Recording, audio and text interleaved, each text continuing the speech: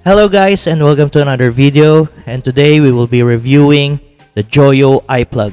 But first, unboxing muna.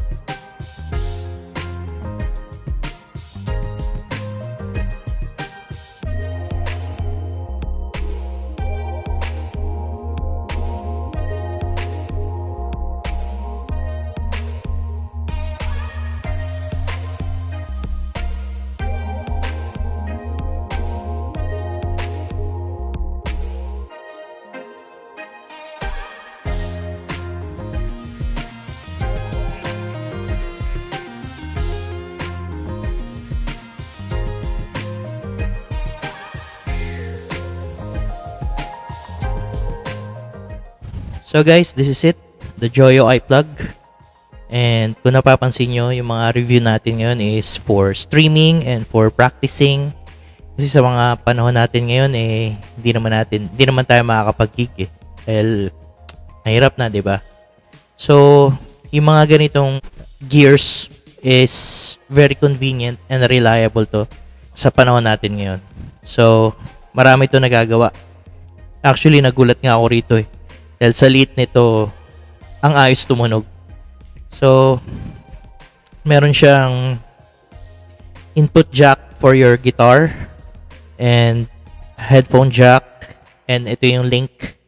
So, ito for your uh, mamili ka for your device and for your kung gusto mo direct. And sa likod, uh, yung on-off switch, um, yung gain knob, uh, volume knob, and tone knob. Bali lahat ng sounds na lalabas ngayon is lahat galing dito. So, pakinggan natin. So, simple lang yung connections. So, on natin. Ayan. Milaw na siya. So, saksak natin dito yung cable ng guitar. And yung link. Itong link. Um, pupunta sa phone. So nakakabit yan dito. Bali magagamit mo yung mga integrated na mga apps for guitar. Like Amplitube, GE Labs, uh, Jam Up Pro, uh, Bias FX2. Yan, pwede, ko, pwede siyang gumana doon. So, for now, ginagamit ko tong GE Labs kasi favorite ko to eh. So, ito papunta sa headphones nyo. Yan. So, ganyan lang kasimple guys. So, mamaya may papakita pa ako sa inyo kapag direct na siya. So, check natin yung tunog ng GE Labs. So, ito yun.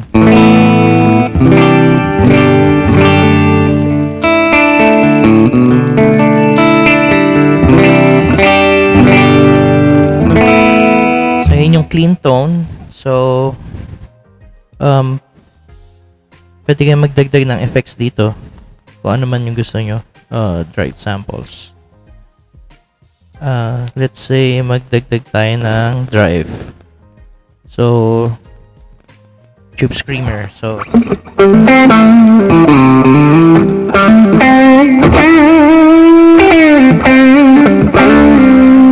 So, ganun lang kadali. So, try naman natin guys yung sa high gain.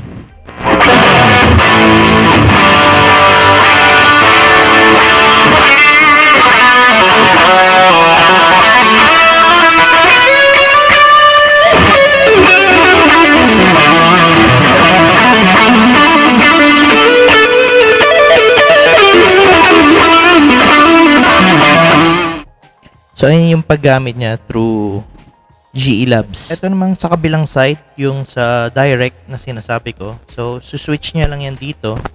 So, automatic siya, magbabypass siya. Um, may sarili siyang ano eh, may sarili siyang volume, um, pag tinaas nyo tong gain, parang mag-overdrive na siya.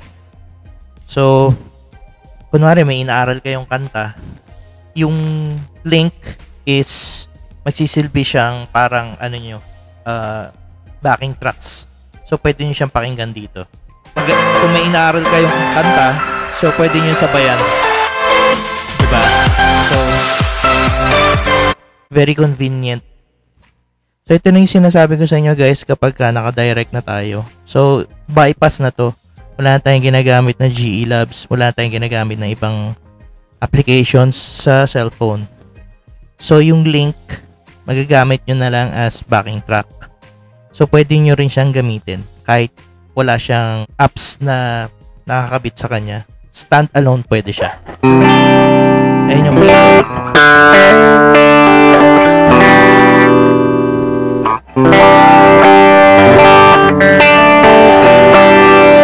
So kung gusto niyo magkaroon ng overdrive, tataas nyo lang tong gain.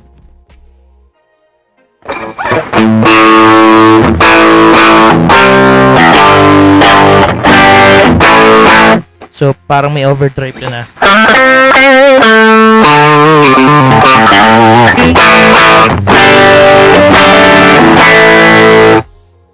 So yun guys, talagang ang dami niya nagagawa.